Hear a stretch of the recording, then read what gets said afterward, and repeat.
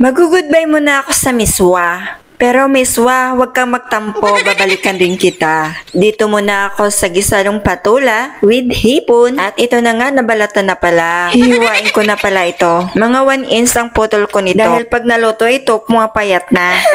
pumapayat? Lumiliit pala. At natapos na nga pagkatapos nito hugasan ko. Aye, for the love. At ito, mabilisan lang to. O, di ba Ang bilis-bilis. Ganyan ang technique. Aye, for the love. At sinalang ko na nga itong kawali at binuksan ko na ang kalan. Naglagay na rin ako ng mantika. Katamtaman lang, wag masyado. Iwas high blood. At una ko nga nilagay itong pork. Kat pang sahog lang siya. Maliliit lang. Hahaluin ko lang ito hanggang sa mag-brown. Tinakpan ko rin ito. At ito na, brown na. So itabi ko lang to. Ang sunod ko namang ilagay itong hipon. Itong hipon nga pala ay binalatan ko na. Hindi ko lang tinanggal ang ulo. Sinadyang ganyan lang ang ginawa ko. Kasi ang ulo, yan yung malasa. At tanggalin ko muna itong hipon sa kawali. Itabi ko muna ito para hindi siya ma-overcook. Mas masarap pa rin ng hipon na hindi overcook. Nandun pa rin yung panlasa niya naman na tamis Kaya tabi ka muna, ibabalik rin kita mamaya at sunod kong ilagay itong sibuyas. At haluin. At pagkatapos nilagay ko na rin ang bawang. Haluin hanggang sa mag-brown.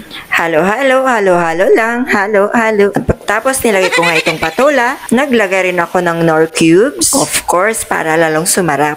At nilagyan ko rin ng asin. Powder na paminta. At syempre, gandahan lang ng halo.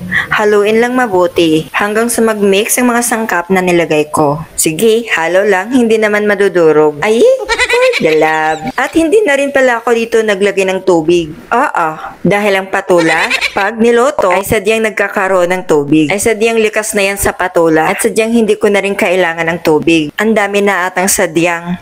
Ahe, for the love. Serious. No need ang tubig dahil nga itong niloto ko ay gisadong patula. At kailangan ko lang dito ay may counting sauce. At binuksan ko nga ito. At ito luto na. Ibabalik ko na rin ang hipon na tinabi ko kanina. At napakabilis lang naman talaga lutuin ito dahil ang patula ay napakabilis maluto. At naglagay nga ako ng dahon ng sibuyas. At luto na ito. Napakabilis naman talagang lutuin ng patula. Hindi aksaya sa gas. Sa mahal ng gas ngayon ay iwan.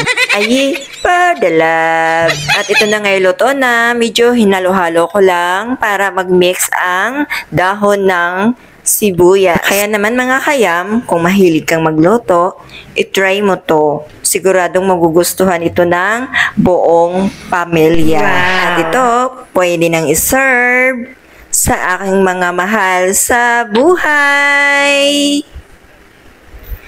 Mm, tara, kain na. For the love.